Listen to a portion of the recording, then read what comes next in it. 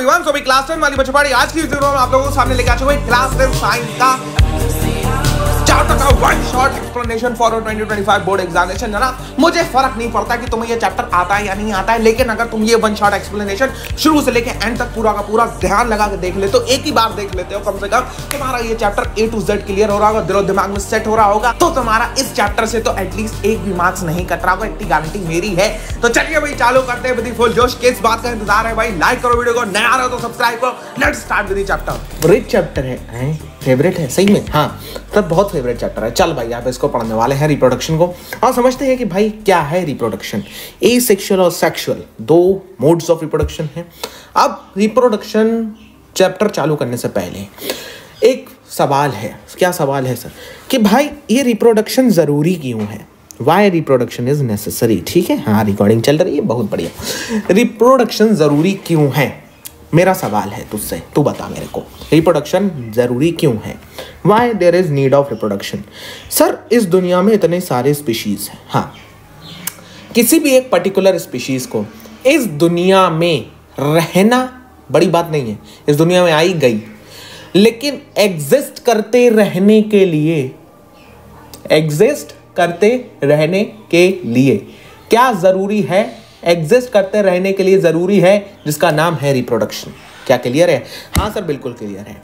किसी भी एक पर्टिकुलर स्पीशीज को इस दुनिया में कंटिन्यूटी बनाए रहने के लिए ज़रूरी चीज़ का नाम है रिप्रोडक्शन ठीक है? अगर रिप्रोडक्शन नहीं होगा तो स्पीशीज हमारी एक्सेंट कर एक्सटेंट कर जाएँगी। ठीक है? मतलब खत्म। ठीक है? तो to retain a particular species हमें रिप्रोडक्शन करना होता है। रिप्रोडक्शन हमारा प्रोसेस हो रही होती है इस दुनिया के अंदर। अब ये जो रिप्रोडक्शन की प्रोसेस है, ये होती क्या है? इंसान का बच्चा इंसान की तरह दिखेगा ना? इंसान का बच्चा जो होता है, हाथी की तरह थोड़ी ना दिखेगा। हाथी का बच्चा इंसान की तरह दिखता है। शरीर हाथी का, मुंडी इंसान की, मुंडी इंसान की, शरीर घोड़े का। ऐसा थोड़ी ना हो सकता है। नहीं, सर, नहीं हो सकता। तो कुछ ना कुछ तो ट्रांसफ़र होता है। ताकि इंसान का बच्चा इंसान की तरह दिखता है, हाथी का हाथी की तरह, जिराफ का जिराफ की तरह, शेर का शेर की तरह। शेर का बच्चा जो होता है, भेड़ थोड़ी ना पैदा होगा, नहीं, बकरी का शेर हो जाएगा, ना। कुछ ना कुछ तो ट्रांसफ़र होता है हाँ होता है। ट्रांसमिशन ऑफ़ करेक्टर्स होते हैं।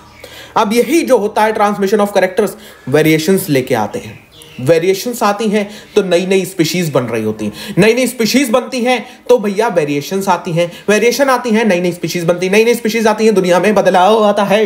समझ रहे हो? हाँ समझ रहे हैं। अब जो दो मोड्स ऑफ़ रिप्रोडक्शन है ए सेक्शुअल और सेक्शुअल आ, भाई, पढ़ लेते हैं। ए सेक्शुअल सिंगल पेरेंट की इन्वॉल्वमेंट है, तू कहाँ से निकल रहा है? इधर सिंगल पेरेंट की इन्वॉल्वमेंट ठीक है भैया? सिंगल पेरेंट है, कोई भी जो होता है पेरेंट जो सिंगली रिप्रोड्यूस कर रहा है, उसे ए सेक्शुअल रिप्रोडक्शन कहा जाता है। अब ए सेक्शुअल रिप्रोडक्शन में कोई भी सेक्स की इन्वॉल्वमेंट नहीं होती है, ठीक है? कोई भी जो होता है, भाई सेक्स नहीं इन्वॉल्व होता है ए सेक्शुअल रिप्रोडक्शन के अंदर। जो न्यू इंडिविजुअल्स फॉर्म होते हैं ए सेक्शुअली रिप्रोड्यूस होने के बाद में, उन्हें क्लोन कहा जाता है। सर, एक बात बताओ, जो नए इंडिविजुअल्स हैं, उन्हें क्लोन ही क्यों कहा जाता है? भाई क्लोन इसलिए कहा जाता है क्योंकि वो जेनेटिकली और फिनोटिपिकली एक जैसे होते हैं। जेनेटिकली और फिनोटिपिकली एक जैसे होने का मतलब क्या है? भैया जेनेटिक्स यानी उनका डीएनए और उनकी शक्ल और अकल, सब एक जैसा होता है। मतलब सर मतलब ये है कि तुम उनको देखोगे। भाई बैक्टीरिया है, ये बैक्टीरिया है हाँ। ये बैक्टीरिया का बच्चा हो, ठीक है बैक्टीरिया का बच्चा हो। मान लो, ये बैक्टीरिया है हमारा, ये बैक्टीरिया है, ये बैक्टीरिया है हाँ। अब इस बैक्टीरिया ने करा डिवाइड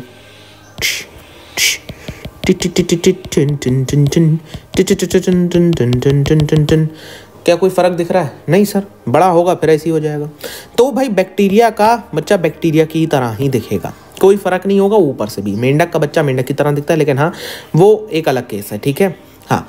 प्लांट में प्लांट की तरह ही दिखेगा। बैक्टीरिया बैक्टीरिया की तरह ही दिखेगा। बैक्टीरिया जो होता है, वो इंसान की तरह नहीं दिख सकता। भैया, रोज रोज जितने भी होंगे, सारे के सारे रोज ही दिखाई देंगे। ओनियन पोटैटो पोटैटो सारे आलू ही होते हैं, एक जैसे ही दिखाई देते हैं। जीन डीन डीएनए एक जैसा होता है या जीन एक जैसा होता है? हाँ सर जो ए सेक्सुअल रिप्रोडक्शन होता है, उसमें क्लोन इसलिए कहा जाता है क्योंकि भैया उनका डीएनए उनका डीएनए उनका डीएनए में भी कोई बदलाव नहीं होता। उनके डीएनए में अगर यहाँ पे कहीं कुछ है तो यहाँ पे भी होगा।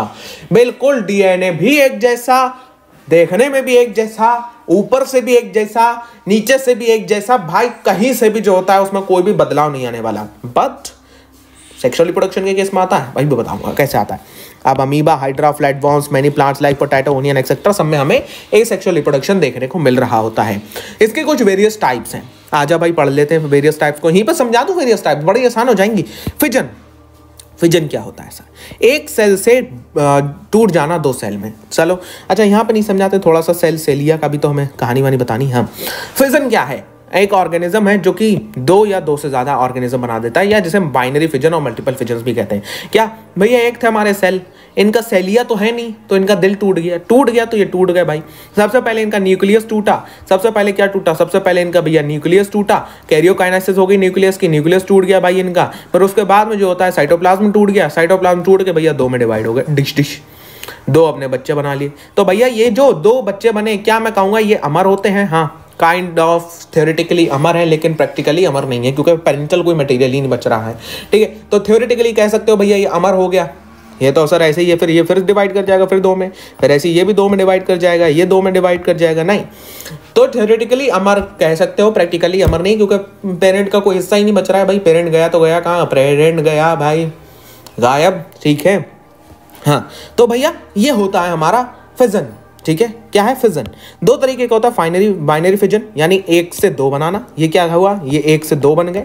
ये क्या है? ये बाइनरी फिजन है। न्यूक्लियस एक ही बार डिवाइड करता है इसके अंदर। पैरामीशियम अमीबा बैक्टीरिया और इलीगिना है? सर अमीबा पैरामीशियम एंड यूलीगिनिया एंड बैक्टीरिया इसको जो होता है वो इस्तेमाल कर रहे होते हैं इसका, जो होता है मोड ऑफ़ रिप्रोडक्शन ये होता है हमारा इन अमीबा के अंदर पैरामीशियम के अंदर एल्गिना के अंदर और बैक्टीरिया के अंदर मोड ऑफ़ रिप्रोडक्शन हमारा बाइनरी फिजन होता है। अब मल्टीपल फिजन की तरह बात करते हैं sir multiple fission multiple fission यानी कि भैया, होता कब है? सबसे पहली बात तो ये जान लो कि मल्टीपल फिजन हो कब रहा होता है, किसी भी एक पर्टिकुलर ऑर्गेनिज्म के अंदर। मल्टीपल फिजन किसी भी एक पर्टिकुलर ऑर्गेनिज्म के अंदर तब हो रहा होता है जब वो ऑर्गेनिज्म को खतरा महसूस होता है। खतरा महसूस होने का मतलब सर क्या है? अगर वो ऑर्गेनिज्म ये सोचेगा कि मेरे को खतरा महसूस हो रहा है तो वो अपनी ज़्यादा से ज़्यादा कॉपीज़ बनाने की कोशिश करेगा, क्योंकि हमने ऐसे कि चैप्टर की शुरुआत में पढ़ा।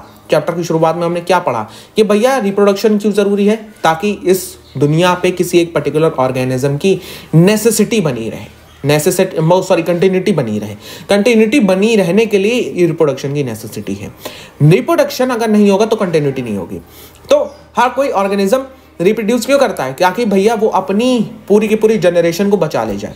इसलिए मल्टीपल फिजन के दौरान मल्टीपल फिजन के दौरान हमें ये देखने को मिलता है कि जब आपका ऑर्गेनिज्म को, जो कि सिंगल सेल ऑर्गेनिज्म है सिंगल सेल है उसके पास में, उसे ये खतरा महसूस होता है कि भाई, खतरा महसूस हो जाता है कि भाई, अब मैं नहीं बचूँगा। तो मैं क्या करूँगा, मैं अपनी ज़्यादा से ज़्यादा कॉपीज बनाऊँगा। ज़्यादा से ज़्यादा कॉपीज देख रहा हूँ, एक है, उसने अपने ऊपर पहली बात तो एक प्रोटेक्शन बना लिया कि भाई बच जाऊँ, ठीक है? प्रोटेक्शन बना लिया ओके अब ये प्रोटेक्शन हो गया प्रोटेक्शन हो गया तो प्रोटेक्शन बनाने के बाद में ये अपने न्यूक्लियस को मल्टीपल टाइम्स डिवाइड करता है रिपीटेडली डिवाइड करता जाता है। और सिस्ट फॉर्मेशन कर लेता है। रिपीटेडली डिवाइड करेगा तो इतनी सारी कॉपीज बना लेगा, मान लो पचास कॉपीज बन गई। पचास में से मान लो दस तो बची जाएँगी, अगर कंडीशन हार्श हो गई, जैसे खाने की अवेबिलिटी नहीं है, बहुत ज़्यादा ठंड पड़ गई या एकदम से इन्वायरमेंट चेंज हो गया क्लाइमेट चेंज हो गया क्लाइमेट चेंज हो गया तो भाई दस तो इसमें से कम से कम सर्वाइव कर जाएँगी। हाँ बिल्कुल। तो अमीबा प्लाज्मोडियम मैनी एलगीज ये मोड ऑफ़ को फॉलो करते हैं, ठीक है? जब ये कब फॉलो हो रहा होता है, ये जब फॉलो हो रहा होता है, जब उन्हें ये लगता है, भाई, अब हमारा समय गया, ठीक है? अब हम नहीं बचेंगे, तब वो ये मोड को फॉलो कर रहे होते हैं और तब उन्हें इसका रिज़ल्ट भी देखने को मिलता है। कैसे मिलता है रिज़ल्ट देखने को? ताकि उनकी स्पीशीज की कंटिन्यूटी बनी रहती है, वो उनकी स्पीशीज बच जाती है इस मोड को फॉलो करने की वजह से। अब नेक्स्ट आता है बडिंग बडिंग क्या होता है सर बड निकलना। ये बर्ड निकल गया। ये बर्ड निकलते ही क्या करता है? ये बर्ड निकलते ही जैसे ही निकलता है, फिर इसकी ग्रोथ होते होते ये पेरेंट से ही अटैच है। हाइड्रा इसको फॉलो करता है। ये पेरेंट से ही अटैच है और ये ग्रो कर जाता है, पूरा नया ऑर्गेनिज्म बन जाता है। अब जब नया ऑर्गेनिज्म बनेगा तो भैया ये यहाँ से डिटैच होके और अलग हो जाएगा, ठीक है? मीन्स जो सीबीएसई का पॉइंट ऑफ़ क्वेश्चन है, वो है भैया what is the difference between fission and fragmentation क्या पूछेगा? फिजन और फ्रेगमेंटेशन के बीच में डिफरेंस बता दो हमें। इसके बीच में डिफरेंस क्या? देख भाई फिजन के लिए हमने पढ़ा था कि फिजन सिर्फ़ और सिर्फ़ किसमें होता है? सिर्फ़ और सिर्फ़ यूनिसेलुलर में हो रहा होता है। किसमें हो रहा होता है? सिर्फ़ और सिर्फ़ यूनिसेलुलर में। यूनिसेलुलर में होता है फिजन फ्रेगमेंटेशन किसमें होता है? मल्टी में। मल्टी का एग्ज़ाम्पल क्या है? स्पायरोगायरा स्पायरोगायरा ये स्पायरोगैरा है। तुम कभी नदी पे गए हो? हाँ सर, नदी पे गए हैं। नदी पे गए हैं तो भाई वहाँ पे नीचे नदी में तुमने अगर साफ़ पानी होगा तो नीचे घास तैरती हुई देखी होगी। घास तैर रही है हाँ। नदी में बहुत लंबी लंबी घास तैर रही होती है। वो स्पायरोगैरा होती है, ठीक है? स्पायरोगैरा इसको फॉलो करता है। क्या करता है? ये घास डिवाइड हो जाती है, टूट जाती है। जैसे ही टूटती है, ये टूटने के बाद में अपने अलग अलग हिस्सों में चली जाती है। अलग अलग नदी के इलाकों में चली जाती है। जैसी अलग अलग इलाकों में जाती है, फिर वहाँ पे ये जो फ्रेगमेंट्स है इसके, ये पूरी की पूरी स्पायरोगैरा बना लेते हैं। ये पूरी की पूरी नई स्पायरोगैरा बना लेते हैं, पूरी नई ग्रास बन जाती है। तो ये हमारा फ्रेगमेंटेशन है मल्टा सेलुलर ऑर्गेनिज्म के अंदर देखने को मिलता है। यूनिसेलुलर ऑर्गेनिज्म के अंदर फ्रेगमेंटेशन नहीं देखने को मिलेगा। मिलेगा देखने को, हमें क्या? फिजन देखने को मिलेगा यूनिसेलुलर ऑर्गेनिजम्स के अंदर, ठीक है? अब उसके बाद में रीजनरेशन होता है। रीजनरेशन वही जो तुम्हारे यहाँ चिपकली का होता है। क्या सर क्या होता है चिपकली का? भाई चिपकली की तुम पूछ काट डालो। छिपकली की पूछ काट डालो। क्या होगा? छिपकली की पूछ कटने के बाद में दोबारा उगी आएगी। कटने के बाद में दोबारा उगी आती है। तो जब दोबारा उगी आएगी तो वो रीजनरेट कर गई। क्या कर गई? रीजनरेट कर गई। पूछ रीजनरेट कर गई और जो रीजनरेट करती है, वो हमारा रीजनरेशन कराता है जैसे फ्लैटबॉम है प्लेनीरिया प्लेनीरिया क्या है? प्लेनीरिया को तुम काट डालो। काट दिया तुमने। तीन हिस्सों में काट दिया, ठीक है? अब तीन हिस्सों में काट दिया। मरता नहीं है ये। इसका ये हिस्सा रीजनरेशन होने के लिए एक चीज़ की ज़रूरत होती है जो ज़्यादा डिटेल है, लेकिन बता दे रहा हूँ तुम्हें, कोई टेंशन नहीं। रीजनरेशन होने के लिए एक चीज़ की ज़रूरत होती है, जिसका नाम होता है totipotent cell totipotent cell इसकी ज़रूरत होती है रीजनरेशन होने के लिए। अब टोटीपोटेंट सेल क्या है सर टोटीपोटेंट सेल एक ऐसे टाइप ऑफ़ सेल होते हैं, जिनके पास में ये कैपेबिलिटी या एबिलिटी होती है। एबिलिटी होती है to form to form whole organism to form whole organism ठीक है? ये पूरा का पूरा ऑर्गेनिज्म अपने ही अंदर से बना सकते हैं, पूरा का पूरा ऑर्गेनिज्म एबिलिटी होती है इनके पास में कि अपना पूरा ऑर्गेनिज्म बना ले। हमारे अंदर होते हैं टोटीपोटेंट सेल नहीं हमारे अंदर एक स्टेज पे होते हैं टोटीपोटेंट सेल मौजूद। कहाँ? ह्यूमन के अंदर एक सेल ऐसा होता है जो टोटीपोटेंट होता है। जेड से नाम चालू होता है। इसी चैप्टर के अंदर उसके बारे में पढ़ा सर, क्या बात कर रहे हो? तो मुझे answer in the comment section दोगे। आंसर इन दी कमेंट ठीक है? आंसर आपको कहाँ देना है? कमेंट सेक्शन में देना है। जितने क्वेश्चंस मैंने पूछे हैं, उस क्वेश्चंस के number one number two number three question करके उसके आंसर देते जाओ। कमेंट सेक्शन में मज़ा आ जाएगा। इसका नाम हिंट है भाई। हिंट है, नाम चालू हो रहा है किसे? जेड से। नाम चालू हो रहा है जेड से, ठीक है? बाकी तुम जानते हो। अभी आगे भी बताऊँगा। तो अब ये जो होता है रीजनरेशन ये एंटी एक्सीडेंटल प्रोसेस होता है। ठीक है एक्सीडेंट हो गया कभी तो कोई चीज़, जैसे प्लेनेरिया एक्सीडेंटली कट गया तो वो जो होता है आपका रीजनरेट कर जाता है। हाइड्रा फ्लेटबॉम एंड टेपबॉम चिपकली सर, इसमें क्यों नहीं है? चिपकली इसलिए नहीं है क्योंकि चिपकली मल्टाई सेलुलर है और जो होता है रीजनरेशन की कैपेसिटी रखती है। ठीक है कैपेसिटी ऑफ़ रीजनरेशन होता है उसके पास में। स्पोर फॉर्मेशन स्पोर क्या होता है भैया? पॉलन ग्रेन्स जैसे तुमने पढ़े हैं। पॉलन ग्रेन्स अभी नहीं पढ़े, पढ़ाऊँगा। भैया स्पोर होता है छोटे छोटे जो होता है सिंगल सेल्स के, जो होता है स्पोर्स बनाना स्पोर मतलब क्या? दाने। दाने, ठीक है? सिंगल सेल के दाने बनाना, उससे जर्मिनेट करना। जैसे कि फंगाई हो गया राइजोपस हो गया, ये सिंगल सेल के दाने बना के जर्मिनेशन कर रहे होते हैं। सिंगल सेल का दाना बना लिया, अब वो सिंगल सेल के दाने ये बस्ट होते हैं और ये उड़ जाते हैं हवा के ज़रिए। हवा के ज़रिए उड़ जाते हैं और ये जहाँ पे जाके गिरेंगे, वहाँ पे फंगाए उगने लगेगी। जैसे ब्रेड फंगाई होता है ब्रेड मोल्ड तो वो क्या कहते हैं? वो ब्रेड मोल्ड पूरे ब्रेड में कैसे फैल जाता है? यही स्पोर्स की वजह से फैल जाता है। ये दो तरीके के स्पोर्स होते हैं। सबसे पहला कोनीडिया, दूसरा जू स्पोर्स अच्छा तो कोनीडिया क्या होता है? कोनेडिया भाई एक जगह पे पड़ा है तो पड़ा ही है। हिल नहीं सकता। मतलब इसके अंदर कोई भी ए, मच्छर, अभी तुम्हारे बारे में हम बता चुके हैं। आई, इधर आके टहिल रहे हो।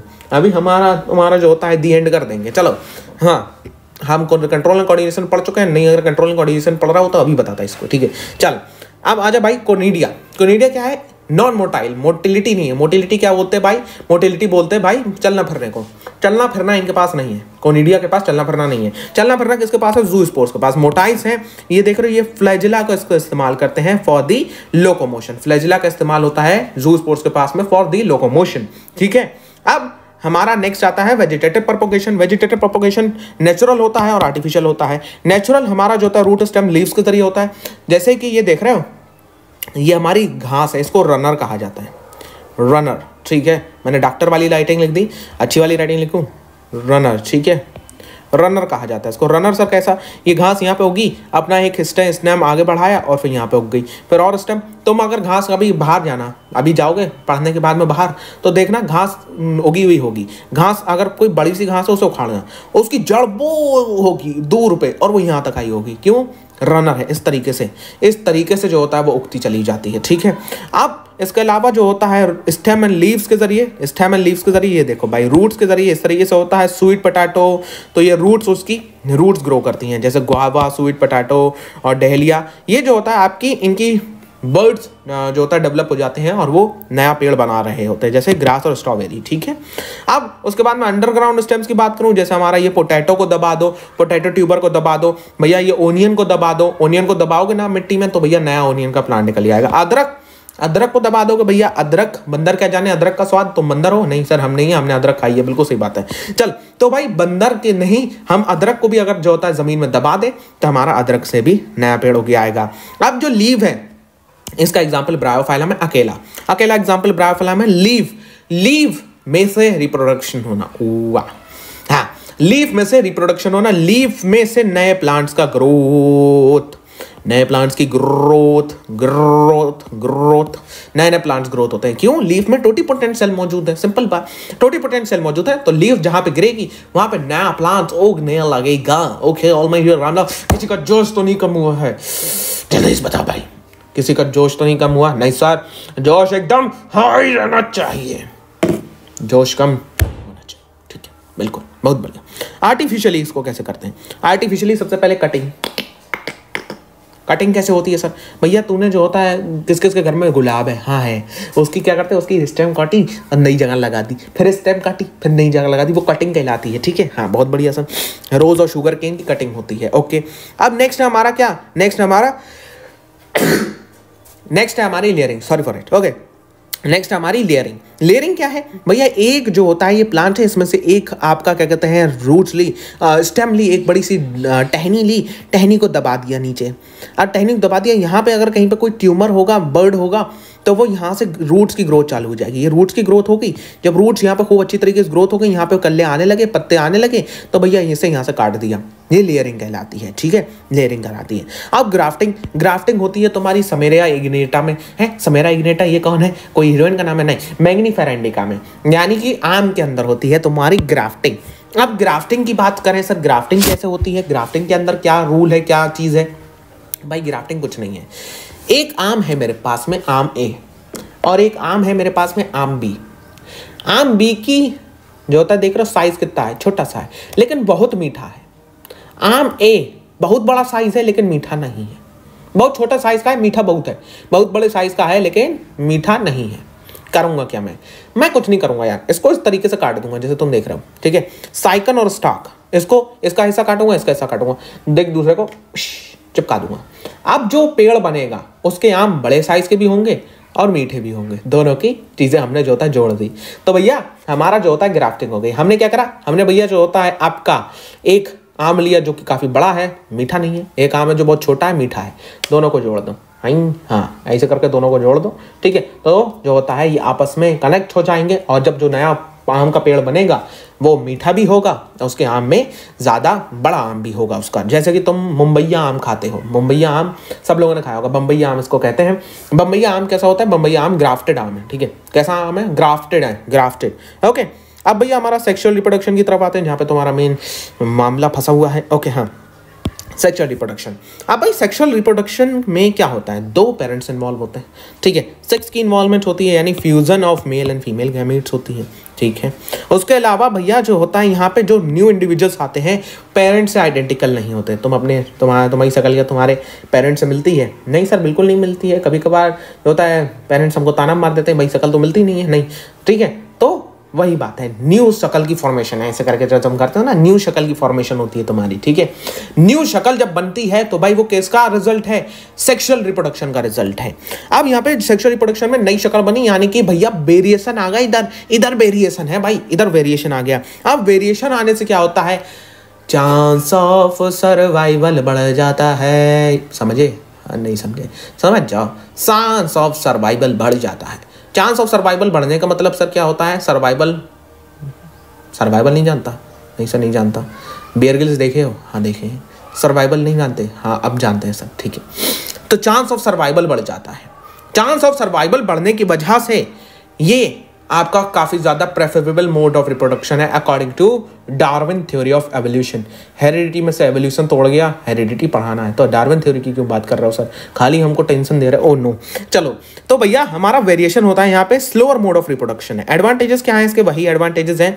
वेरियस स्पीशीज के जब डीएनए एक दूसरे में इनकॉर्पोरेट करते हैं तो क्या होता है? तो सर्वाइवल होने के चांसेस बढ़ जाते हैं। अब यहाँ पे नई यूनिकनेस और आइडेंटिटी आती है हर एक स्पीशीज के पास में। हर जो नई जनरेशन होगी, वो यूनिक होगी आइडेंटिकल होगी। उसकी अपनी खुद की आइडेंटिटी होगी, खुद की यूनिकनेस होगी।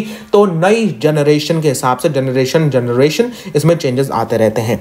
और अनफेवरेबल कंडीशन में ऑर्गेनिज्म को सर्वाइव करने का पूरा का पूरा चांस देता है। अब गेमीट्स क्या होते हैं? गेमीट्स वो सेल्स होते हैं जो कि आपकी कैरेक्टर्स को कैरी करते हैं फॉर दी रिप्रोडक्शन इन्हें सेक्स सेल्स भी कहा जाता है। कुछ ऑर्गेनिज्म में मेल और फीमेल गैमेट्स आइडेंटिकल होते हैं, जैसे कि स्पायरोगायरा और कुछ ऑर्गेनिज्म में मेल और फीमेल गैमेट्स आर अलग अलग होते हैं, जैसे ह्यूमन बींग्स ह्यूमन बींग्स में मेल गैमिट स्पर्म है फीमेल गैमिट ओवा है। चलो प्लांट्स के अंदर देख लें। प्लांट्स के अंदर कहाँ कहाँ होता है? हाँ पहले सब देख लें। पहले यही देख, ठीक है। चलो अब जो होता है, यहाँ पे फ्लावर के अंदर यूनिसेक्शुअल और बाइसेक्सुअल कंडीशंस दोनों हो सकती हैं। एक फ्लावर है, उसके अंदर यूनिसेक्सुअल और बायोसेक्सुअल कंडीशंस दोनों हमें देखने को मिल सकती हैं। कैसे, सर? देखो भैया यूनिसेक्सुअल का मतलब भैया, इसमें या तो फीमेल रिप्रोडक्टिव पार्ट मौजूद होगा या मेल रिप्रोडक्टिव पार्ट मौजूद होगा। जैसे कि पपाया और वाटरमेलन पपाया और वाटरमेलन यूनिसेक्शुअल है। इसके अंदर या तो मेल पार्ट है या तो फीमेल पार्ट ही होगा। आपका क्या कहते हैं? पूरे के पूरे प्लांट के अंदर। तो एग्ज़ाम्पल इंपॉर्टेंट है डायरेक्टली पूछा जा सकता है सीबीएसई के अंदर। बाइसेक्सुअल के अंदर, भैया दोनों पार्ट मौजूद होते हैं, जैसे कि चाइना रोज और मस्टर्ड स्ट्रक्चर फ्लावर का, देख रहे हो? ये है फ्लावर का स्ट्रक्चर अब फ्लावर का स्ट्रक्चर की बात करूँ तो फ्लावर के स्ट्रक्चर में ये स्टाक होती है, जो कि पूरे के पूरे फ्लावर को आपका होल्ड कर रही होती है, ठीक है? पूरे के पूरे फ्लावर को होल्ड कर रही होती है। ऊपर से ये थैलेमस होता है। ऊपर से क्या होता है भैया? ये थैलेमस होता है। थैलेमस क्या करता है? थैलेमस आपका पूरे के पूरे फ्लावर को होल्ड करके रखता है। फिर हमारी सेपल्स होती हैं जो कि पेटल्स को होल्ड करके रखती हैं। फिर ये होता है हमारा क्या? फिर होता है भैया ये हमारा पेटल्स। पेटल्स वाला क्या हिस्सा है? पेटल्स वाला हिस्सा फॉर अट्रैक्टिंग आपका आ, कीड़ा मकौड़ा ठीक है? फॉर अट्रैक्टिंग इंसेक्ट ठीक है? सर कीड़ा मकौड़ा क्या? फॉर अट्रैक्टिंग कीड़ा मकौड़ा ठीक है? अब उसके बाद में ये देख रहे हो ये जो है कार्पल और पिस्टल वाला पार्ट ये हमारा फीमेल पार्ट है। ये फीमेल पार्ट है। और ये जो एंथर है इसे स्टेमिन कहा जाता है हमारा मेल पार्ट है। ठीक है? ये फ्लावर है, ये कैसा फ्लावर हो गया सर ये? तो ये भैया बाई सेक्शुअल फ्लावर हो गया बाई सेक्शुअल फ्लावर हो गया, ठीक है? बाई सेक्शुअल फ्लावर हो गया ये हमारा, कैसा फ्लावर हो गया? भैया ये बाई सेक्शुअल फ्लावर हो गया। अब यहाँ पे देख रहे हो, यहाँ पे जो स्टैमिन होता है, उसके अंदर प्रोड्यूस होते हैं पॉलिन ग्रेन्स स्टैमिन का जरा स्ट्रक्चर देख लो भाई। ये स्टैमिन है एंथर कनेक्टिव ऑफ़ लामेंट ये पॉलन सैक होते हैं, जिसके अंदर भैया पॉलिन ग्रेन मौजूद होते हैं पॉलन ग्रेन का प्रोडक्शन हो रहा होता है। अब ये पॉलन सेक कैसे होते हैं? Pollen sac detail class twelve chapter number two के अंदर आएगी। Sexual reproduction in flowering plants ठीक है? तो उसके अंदर आएगी ये भाई। यहाँ पे चार होते हैं। चार पॉलन सेक होते हैं। एक लोब में दो होते हैं। एक लोब में क्या होते हैं? दो होते हैं। लोब किसको कहा जाता है? एक हिस्सा, दूसरा हिस्सा। ठीक है, समझे? हाँ सर, समझ गए। एक लोब में दो पॉलन सेक होते हैं। और चार होते हैं इसके लिए इसको टेट्रा टेट्रा टेट्रा स्पोरेंजिएट कहा जाता है, स्पोरेंजिएट स्पोरेंजिएट टेट्रा स्पोरेंजिएट कहा जाता है। बाई लोब्ड, दो लोब हैं और टेट्रा स्पोरेंजिएट है। कैसा स्ट्रक्चर होता है? एंथर बाई लोब्ड, दो लोब हैं टेट्रा स्पोरेंजिएट है tetrasporangiate sporangiate tetrasporangiate है। Bilobed and tetrasporangiate भाई तो इसमें जो होता है, दो लोब है चार स्पोरेंजिया हैं, चार चार स्पोरेंजिया हैं। तो इसे बाइलोब्ड और टेट्रास्पोरेंजिएट स्ट्रक्चर कहा जाता है। यहाँ पे प्रोडक्शन होता है आपका किसका? पॉलिन ग्रेन्स का। किसका प्रोडक्शन होता है भाई? पॉलिन ग्रेन्स का प्रोडक्शन होती रामलाल। तुम समझती? हाँ समझती सब। ठीक है। अब यहाँ पे टोटल चार पॉलिन सेक होते हैं और ये प्रोडक्शन करता है पॉलिन ग्रेन्स का। पॉलिन ग्रेन क्या है? मेल गैमीट है प्लांट के अंदर। ठीक है? अब ये हमारा फीमेल पार्ट है, ये हमारा कार्पल कहलाता है। यहाँ पे स्टिग्मा होता है, अंदर ओवरी होती है, ठीक है, ये ओवरी वाला हिस्सा है। यहाँ पे पॉलन ग्रेन आकर अटैच हो जाता है। अब सब पॉलन ग्रेन प्लांट पहचानता कैसे कि हमारा ही पॉलन ग्रेन है? प्लांट को पता कैसे चलता है? प्लांट को पता इस तरीके से चलता है भाई पॉलन ग्रेन्स का, कि भाई यहाँ पे जब पॉलन ग्रेन आके अटैच होता है अटैच होता है पॉलन ग्रेन तो यहाँ पे कुछ स्पेशल टाइप की हार्मोनल आइडेंटिफायर्स लगे होते हैं, जो इसको आइडेंटिफाई कर लेते हैं अच्छा ये हमारा ही है। हाँ हमारा ही है तो इसको अंदर ले लो। हमारा नहीं है, फेंक दे भाई, हटा इसको। हमारा नहीं है, ठीक है? तो हमारा है, तभी अंदर लेना। हमारा नहीं है तो अंदर नहीं लेना। तभी जो होता है, इसको एक्सेप्ट करेगा, तभी पॉलन ट्यूब बनना चालू हो जाएगा। और जैसे एक को एक्सेप्ट करा, बाकियों को रिजेक्ट कर देता है। एस हमारा ह्यूमंस के अंदर होता है, ठीक है? ओवरी होती है एनक्लोज होता है ओवरियन कैविटी कैविटी को इसको लॉक्यूल कहा जाता है। ये पूरी की पूरी को लॉक्यूल कहा जाता है, ठीक है? लॉक्यूल लॉक्यूल, ठीक है? एनक्लोज ओव्यूल होता है इसका, ये वाला को लॉक्यूल और ये ओव्यूल हो गया आपका, ठीक है? स्टाइल एंड स्टिग्मा ओके अब यहाँ पे स्टेप्स क्या है, सर? पॉलिनेशन है फर्टिलाइजेशन है सीड फॉर्मेशन और जर्मिनेशन ये चार स्टेप्स में यहाँ पे रिप्रोडक्शन हो रहा होता है। पॉलिनेशन क्या है, sir? Transfer of pollination sir pollen grains stigma anther से स्टिग्मा के ऊपर पहुँचते कैसे? एंथर से कार्पल के ऊपर पहुँचते कैसे? कई सारे मेथड हो सकते हैं इसके पहुँचने के लिए। कई सारे मेथड, सर। जैसे कि ह्यूमन मेथड, तुम हम गए, तुमने प्लांट को छुआ रहे वाह, कितना बढ़िया फ्लावर है, तुमने छू लिया। तुम्हारे हाथों में पॉलिन ग्रेन्स लग गए। अब तुमने गए, तुमने फीमेल फ्लावर को छू लिया तो वहाँ से तुम्हारे हाथों के ज़रिए पहुँच गया। मैक्सिमम मैक्सिमम जो ट्रांसफ़र होता है, बाय इंसेक्ट्स होता है। मैंने कहा नहीं, कीड़ों, मकोड़ों को अट्रैक्ट करने के लिए। जो होता है वो पेटल्स हैं हाँ। कीड़ों मकोड़ों को ही अट्रैक्ट करती हैं वो। कीड़ों मकोड़ों को अट्रैक्ट करती हैं तो भैया वो जो आपकी पेटल्स हैं, वो उनको क्या, कीड़े मकोड़े क्यों आते हैं? नेक्टर खाने के लिए। प्लांट खाना रखता है कीड़े मकौड़ों के लिए क्या कि हमारा रिप्रोडक्शन हो सके। कीड़े मकोड़े हमारे पास में आए और हम उसके ज़रिए पॉलन ग्रेन को ट्रांसफ़र कर सकें। ठीक है? पॉलिनेटिंग एजेंट्स कहा जाता है। जैसे विंड हो गया वाटर हो गया इंसेक्ट हो गया बर्ड हो गया। ठीक है? ये सारे पॉलिनेटिंग एजेंट्स हैं। और ये सारे पॉलिनेटिंग एजेंट्स जो होता है प्लांट का काम कर रहे होते हैं। पॉलिनेशन हो गया। पॉलिनेशन दो तरीके से हो सकता है। सेल्फ पॉलिनेशन या cross pollination self pollination autogamy कहा जाता है। क्रॉस पॉलिनेशन जीनोगेमी तीन तरीके के होते हैं। ऑटोगेमी जिटनोगेमी और जीनोगेमी जिट्रोगेमी है नहीं तुम्हारे में, ऑटोगेमी और जीनोगेमी है। चलो देखते हैं, ऑटोगेमी क्या होता है? एक सेम फ्लावर में, ये हमारा एक फ्लावर है, ये हमारा क्या है? ये हमारा एक फ्लावर है। इसी फ्लावर में हमारा एंथर है, इसी फ्लावर में हमारा जो होता है वो स्टिग्मा है। तो इसी फ्लावर के एंथर से, इसी फ्लावर के स्टिग्मा तक अगर जो होता है हमारा पॉलिन ग्रेन चला जाएगा, उसे हम सेल्फ पॉलिनेशन कह रहे होते हैं, ठीक है? क्रॉस पॉलिनेशन क्या होता है? एक एक प्लांट के एंथर, एक प्लांट के फ्लावर के एंथर से, ये एक प्लांट है, इसके फ्लावर था, उसमें एक एंथर था, लगा हुआ, ठीक है। दूसरे प्लांट के फ्लावर के कार्पल तक ट्रांसफ़र होना, ये जीनोगेमी या क्रॉस पॉलिनेशन कह रहा जाता है। जैसे कि हमारा पी आपका क्या करता है? पी प्लांट सेल्फ पॉलिनेशन कर रहा होता है। और ओनियन, ब्रोकली वगैरह क्या कर रहे होते हैं? ये क्रॉस पॉलिनेशन कर रहे होते हैं। अब पॉलिनेशन करने के बाद, सर, क्या होता है? पॉलिनेशन करने के बाद होता है फर्टिलाइजेशन यानी वही पॉलिन ट्यूब का फॉर्मेशन पॉलिनेशन जैसे ही हो जाता है, उसके बाद में भैया पॉलिन ट्यूब का फॉर्मेशन होना चालू होता है। पॉलिन ग्रेन यहाँ पे आकर अटैच हो गया। अब यहाँ से पॉलिन ट्यूब बनना चालू हो जाएगी। पॉलिन ट्यूब बनना चालू हो जाएगी और जाइगोट तक यहाँ पे जाइगोट का फॉर्मेशन हो जाएगा। अब जब जाइगोड का फॉर्मेशन होता है, यहाँ से वो हिस्सा आता है जहाँ से सीबीएसई मैक्सिमम क्वेश्चन पूछ रही होती है। मैक्सिमम हाँ मैक्सिमम क्वेश्चन आते हैं सीबीएसई के यहाँ से। क्या क्या सर? सीड फॉर्मेशन और जो होता है, कौन किसमें डेवलप होगा? जैसे जाइगोड एम्ब्रियो बनाता है ओव्यूल थिक कोड बनाता है सीड बनाता है ओवरी फ्रूट बनाती है। Ovule seed ovary fruit zygote embryo ये याद कर लो, इससे हट के प्लांट रिप्रोडक्शन से ज़्यादा, इससे इंपॉर्टेंट ज़्यादा टॉपिक कोई है ही नहीं। यहाँ से ट्रिपल स्टार है भाई। क्वेश्चन आया, फंसेगा इधर से, ठीक है? नेक्स्ट हमारा जर्मिनेशन जर्मिनेशन होता है सीड हो जाती है उसके बाद में. अब ह्यूमन बींग्स के अंदर भैया सेक्सुअल रिप्रोडक्शन कैसे होता है? सबसे पहली बात तो ह्यूमन बॉडी जब रेडी होती है रिप्रोडक्शन के लिए, उस स्टेज को क्या कहते हैं?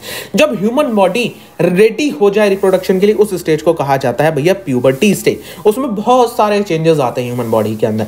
जैसे कि अगर एक मैन चाइल्ड है तो वो ग्रो होगा. चेस्ट का ब्रॉडन होना बियर्ड ग्रोथ आवाज़ का डीप हो जाना, ठीक है? वो क्या है? वो प्यूबर्टी के चेंजेस हैं।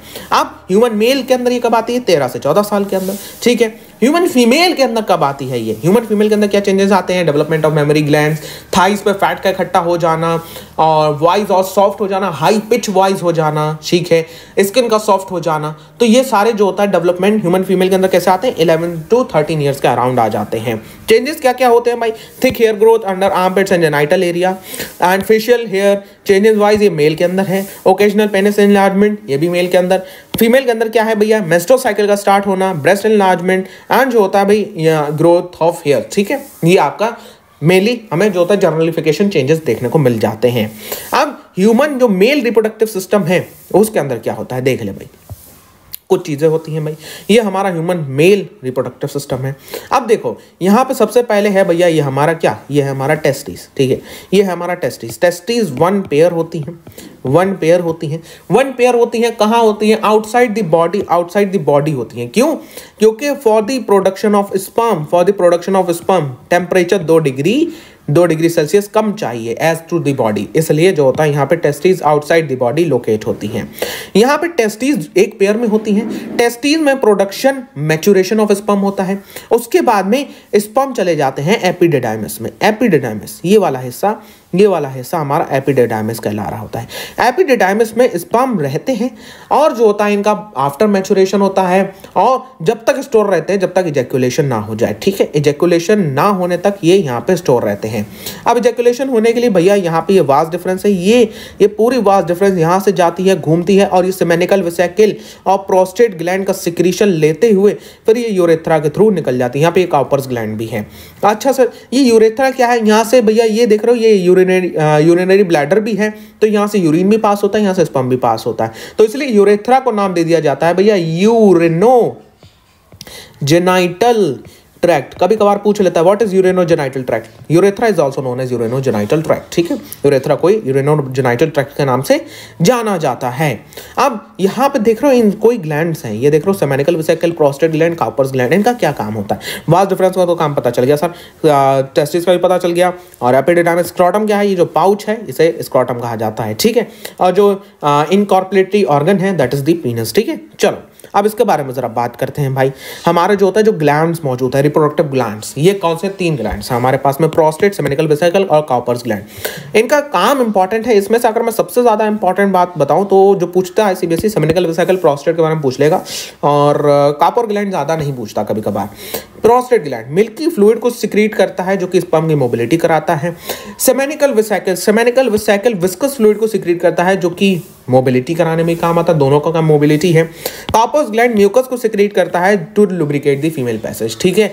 तो ये लुब्रिकेशन का काम भाई कॉपर्स ग्लैंड करता है और बाकी ये दोनों जो होता है भाई स्पर्म की मोबिलिटी और इसके अंदर बहुत सारे आयंस वगैरह भी मौजूद होते हैं, जो स्पर्म को जो होता है डी नेचर होने से, खराब होने से बचा रहे होते हैं। अब स्पर्म क्या है भाई?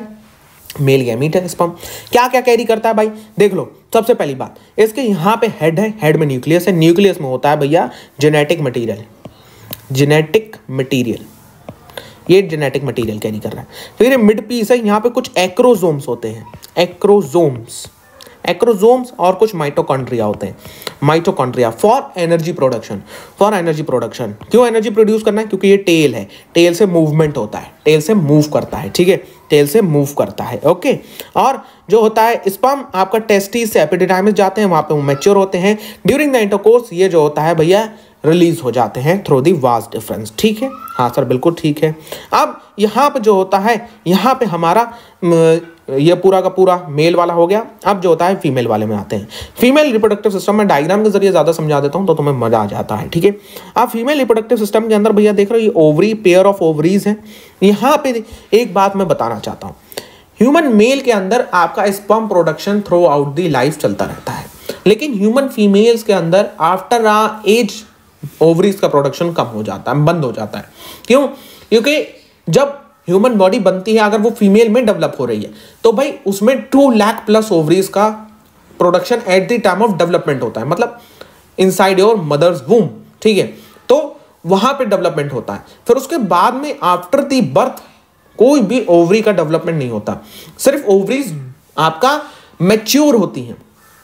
ओवरीज मैच्योर होती हैं, उनका कोई एक्स्ट्रा ओवरीज फॉर्म नहीं होती। इसलिए भाई, ये ओवरीज का प्रोडक्शन सिर्फ़ ओवरीज का मेच्योरेशन ओवरीज में हो रहा होता है, ठीक है? ओके कोई भी प्रोडक्शन नहीं होता स्पम का प्रोडक्शन हो रहा होता है ओवरीज का प्रोडक्शन नहीं होता मैच्योरेशन होता है सिर्फ़, ठीक है? अब ओवरीज यहाँ से मैच्योर होकर ये आती हैं फिलोपियन ट्यूब से, ये हमारा यूट्रस होता है जो कि हमारा वूम कहलाता है, ठीक है? वूम कहलाता है, यही आपका जो होता है, गर्भ कहलाता है आपका हिंदी के अंदर, ठीक है? वूम अब यहाँ पे जो होता है, भाई ये जो वूम है, फिर उसके बाद में ये आपका सर्विक्स होता है और ये वजाइना होता है, जो आउटर पार्ट है, ठीक है? स्पम यहाँ पे रिलीज़ होते हैं वजाइना के अंदर, फिर यहाँ से ये मूव कर रहे होते हैं यहाँ पे। अब भैया, यहाँ पे अलग अलग चीज़ों का काम है, ठीक है? जैसे ओवरीज आपको पता है क्या कहते हैं? फीमेल सेक्स सेल को प्रोड्यूस करती हैं, female hormones estrogen and progesterone को सिक्रीट कर रही होती हैं ये। अब फेलोपियन ट्यूब क्या है? फेलोपियन ट्यूब इसको जो होता है क्रैप कर लेता है, ओबरी को ग्रैप करता है और ये इसको लेके आता है यूट्रस में। सर फर्टिलाइजेशन कहाँ हो रहा होता है? स्पर्म एंड ओवा का जो होता है फ्यूजन कहाँ हो रहा होता है? ये फ्यूजन हो रहा होता है भाई स्टमिक जंक्शन पे। कोई कहते यहाँ होता है गलत, कोई कहते यहाँ होता है गलत। कहाँ हो रहा होता है? जहाँ पे फेलोपियन ट्यूब मुड़ रहा होता है, ठीक है? मुड़ा हुआ होता है फेलोपियन ट्यूब वहाँ पे फर्टिलाइजेशन होता है that is known as isthmic junction fertilisation fallopian tube के अंदर होता है। स्टमिक ना याद रहे, कोई बात नहीं। You have to just mark fallopian tube fallopian tube को तुम्हें मार्क करना है तो तुम्हारा वहाँ पे आंसर सही हो जाएगा। अब भैया uterus pear shape muscular structure होता है फीटस यहाँ पे डेवलप करता है। नैरो पार्ट लोअर पार्ट को सर्विक्स कहा जाता है वजाइना स्पर्म डिस्चार्ज यहाँ पे होता है बर्थ कैनाल की तरह एक्ट करता है, ठीक है? ओवम की बात करें, जो कि फीमेल गैमीट है फीमेल सेक्स सेल है ओवा अब जब जो होता है बिफोर बर्थ मैंने कहा नहीं, दो से तीन लाख मेच्योर एग होते हैं। आफ्टर दी बर्थ कोई भी एग का प्रोडक्शन नहीं हो रहा होता है, ठीक है? जब प्यूबर्टी फीमेल अटेंड करती है तो ये मैच्योर होना चालू होते हैं और एवरी ट्वेंटी एट डेज़ में ओवुलेशन हो रहा होता है। फ़र्स्ट जो होता है अब जब ओवुलेशन होता है उसे मेस्ट्रोल साइकिल कहा जाता है। मेस्ट्रोरेशन मेस्ट्रोल साइकिल के बारे में बात करते हैं देखो। अब मेस्ट्रोरेशन के अंदर जब जो फ़र्स्ट मेस्ट्रोल साइकिल होती है वो 12 साल के एज में अप्रॉक्स स्टार्ट हो जाएगी जैसे मिनार्क कहा जाता है। मेनार्क मेनार्क कहा जाता है ठीक है? लास्ट मेनोपॉज होती है जो कि 45 से 55 साल के बीच में हो सकती है ठीक है? 45 से 55 साल ये मतलब एक टाइम लिमिट है पर, परफेक्ट नहीं है ठीक है? तो हम यहाँ पे होता क्या है? सबसे पहले तो भैया ओवुलेशन होता है और यूट्रस अपने आप को प्रिपेयर करता है। यूट्रस कौन सा? ये वाला ऐसा। ये अपने आप को प्रिपेयर करता है टू रिसीव द फीटस क्योंकि हर टाइम जो होता है रेडी रहना रहना होता है कि भाई कब जो होता है, क्या हो जाए। तो इसलिए भाई आपका यूट्रस हमेशा हर बार, हर महीने अपने आप को प्रिपेयर कर रहा होता है, ठीक है? अब फर्टिलाइजेशन नहीं होता है तो एंडोमेट्रियम एंडोमेट्रियम क्या है सर ये वाली एंडोमेट्रियम ये वाली। ये अनर इनर लेयर ये ब्रेक डाउन कर जाती है, क्योंकि ये थिक हो जाती है थिक हो जाती है और थिक हो जाती है, ताकि जो होता है फीटस को रिसीव कर सके। तो ये यहाँ पे अगर फर्टिलाइजेशन नहीं होता फीटस का फॉर्मेशन नहीं होता तो ये ब्रेक डाउन कर जाती है एंडोमेट्रियम ठीक है? ये बीज वाली मायामाइट्रम होती है एंड देन हमारी जो होता है आउटर लेयर होती है, ठीक है? एंडोमेट्रियम के बारे में बात करते हैं। एंडोमेट्रियम अपने आप को प्रिपेयर करती है। जब अगर फर्टिलाइजेशन ना हो तो ये ब्रेक डाउन हो जाती है। इसको हम लोग जो होता है, इसको हम लोग क्या कहते हैं? इसको हम लोग जो होता है मेस्टोरेशन कहते हैं। मेस्टोरेशन कहते हैं और ब्लीडिंग होती है इसके अंदर। दो से छः दिन तक चलती है, फिर से ये साइकिल रिपीट होने लगती है। ये इधर सर ये ग्राफ क्या है? हार्मोन लेवल है ये। देख रहे हो ओवुलेशन के टाइम में फीमेल के अंदर एल एच क्या हार्मोन लेवल सबसे ज़्यादा होता है? F H follicle stimulating hormone क्या काम करता है? ओवम को डेवलप कराने का काम कर रहा होता है, ठीक है? ओवा का ये अलग अलग स्टेजेस हैं और ये अलग अलग स्टेजेस हैं, ये डिजेनरेशन ऑफ़ ओवा हो गया, ठीक है? अलग अलग स्टेजेस जब ओवुलेशन होता है, तब हमारे फीमेल्स के अंदर जो हार्मोन्स हैं, वो पीक पे रहते हैं पीक पे रहते हैं। और ये देख रहे हो, ये आपका जो होता है क्या कहते हैं, आपका एंडोमेट्रियम की थिकनेस है। ये देखो एंडोमेट्रियल साइकिल ये देखो, कितनी ज़्यादा पतली हो गई यहाँ पे, ठीक है? फिर से थिक होती है, फिर पतली हो जाती है। ये आपकी हर साइकिल चलती रहती है। हार्मोन्स का क्या काम है सर? एलएच का ल्यूटनाइजिंग हार्मोन है भाई फीमेल बॉडी को प्रिपेयर करता है एस्ट्रोजन हमारा जो होता है, आपका क्रेविंग को बढ़ाता है, ठीक है? और F S H follicle stimulating hormone हमारा जो होता है, ये ओवा को डेवलप करने में काम कर रहा होता है, ठीक है? ओके अब ये हमारा मेस्ट्रोसाइकिल हो गई। फर्टिलाइजेशन कैसे होता है? फर्टिलाइजेशन पता है सर? मिक्सचर हो जाता है और दोनों में जैसे ही दो दो मिक्सचर होते हैं जाइगोट बनता है। जाइगोट वो सेल है जिसके अंदर ह्यूमंस के अंदर टोटी पोटेंसी मौजूद होती है कि वो पूरा का पूरा ह्यूमन बींग बना सकता है। जाइगोट ठीक है? अकेला सेल है ऐसा? ह्यूमन बींग के अंदर जो टोटी पोटेंट होता है। और फिर ये एम्ब्रियो कहला रहा होता है। एम्ब्रियो कब कहलाता है? जब आठ सेल हो जाते हैं। आठ सेल में एम्ब्रियो, यहीं से तुम आए हो, यहीं से हम आए हैं, यहीं से सब आते हैं। ठीक है? तो ये जाइगोट सिंगल सेल जब दिखते भी नहीं थे, वहाँ से सब दिख रहे हैं। ठीक है? यस तो ये सिंगल सेल है भाई। अब यहाँ पे जो होता है सिंगल सेल जब एम्ब्रियो हो जाता है एम्ब्रियो चार से पाँच दिन में यूट्रस में आता है। फिर उसके बाद में जो होता है भाई यूट्रस में ये इम्प्लांट हो जाता है और वहाँ से आपका चालू हो जाता है, आपका प्रेगनेंसी पीरियड जो कि नाइन मंथ का होता है। Sexual reproduction as compare to a sexual reproduction काफ़ी ज़्यादा स्लो होता है। स्लो इसलिए क्योंकि इसमें जनरली भाई आपका टाइम लगता है, क्योंकि वेरिएशंस होते हैं कॉम्प्लिकेशंस होते हैं इसके अंदर तो इसलिए एज कंपेयर टू आपका ए सेक्शुअल रिप्रोडक्शन ये मोड ऑफ़ रिप्रोडक्शन काफ़ी ज़्यादा स्लो होता है, ठीक है? अब रिप्रोडक्टिव हेल्थ ये पोर्शन मैं तुम्हारे लिए छोड़ता हूँ। क्यों सर? मैं हमारे लिए कुछ छोड़ रहा हूँ। सर, बता दो। इसलिए क्योंकि तुम पढ़ोगे तो कुछ नॉलेज आएगी। ये पढ़ा दूँगा तो तुम पढ़ने की तरह इसको पढ़ोगे, खुद पढ़ोगे, चीज़ें तुम समझ रहे होगे इसमें। कुछ नहीं, जर्नल की चीज़ें हैं फैमिली प्लानिंग वगैरह कॉन्ट्रासेप्टिव मेथड वगैरह है ये। और जो होता है इसके अलावा ये ज़रूरी है, वैसे टॉमी एंड ट्यूबिकटॉमी तुम बड़ा ही परेशान हो जाते हो। जब वास डिफरेंस को काट के लाइगेट कर दिया जाए वास डिफरेंस यानी मेल के अंदर तो उसे वेसिकटॉमिक आ जाता है, जिसके बाद जो होता है स्टेरिलिटी आ जाती है। ट्यूबिक ट्यूबिकटॉमी अगर जो होता है फ्लोपिन ट्यूब को काट के लाइगेट कर दिया जाए तो भैया वो ट्यूबिकटॉमी होता है तो उसके बाद में जो होता है फीमेल, आपका रिप्रोडक्शन नहीं हो सकता, ठीक है? न्यू फॉर्मेशन ऑफ़ बर्थ नहीं होगा बर्थ नहीं होगी, ठीक है? एस सेक्शुअली ट्रांसमिटेड डिसीजेज होते हैं। ये आपका जो होता है, जैसे गोनोरिया हो गया सिफिलिस हो गया एच एड्स हो गया जेनाइटल एंड एनल वार्ड्स हो गया, और जो होता है भाई, यहाँ पे प्रिवेंशन ये आपको पता है, सारी चीज़ें, ये आपका नॉर्मल चीज़ें हैं, ठीक है? चलो भैया हेरिडिटी को सब समझते हैं, और हेरिडिटी को भी थोड़ा सा एनिमेशन कर दिया मैंने भाई। तो तो जनाब, ये है आपका ओवरऑल वन शॉट उम्मीद करते हैं पूरा का पूरा चैप्टर दिलो दिमाग में सेट हो गया होगा। यार, हमने इसमें बहुत ज़्यादा मेहनत करी है भाई, और आपके अपने भैया का चैनल है तो प्लीज़ एंड प्लीज़ इस वीडियो को एक लाइक ज़रूर करना, नए आ रहे हो, अभी कभी चैनल को सब्सक्राइब करो। बहुत सारे और वन शॉट्स आ रहे हैं। बहुत ही बेहतरीन एक्सप्लेनेशन के साथ में। और भैया, जो तुमने अपने पेरेंट्स से प्रॉमिस कराया नाइनटी मार्क्स लाने का, उस प्रॉमिस को साथ में मिलकर पूरा कहा करते हैं? और जो होता है, उनको प्राउड फील कराते हैं। प्लीज़ सब्सक्राइब इट लाइक करिए शेयर करिए अपने अपने दोस्तों में। I will meet in the next video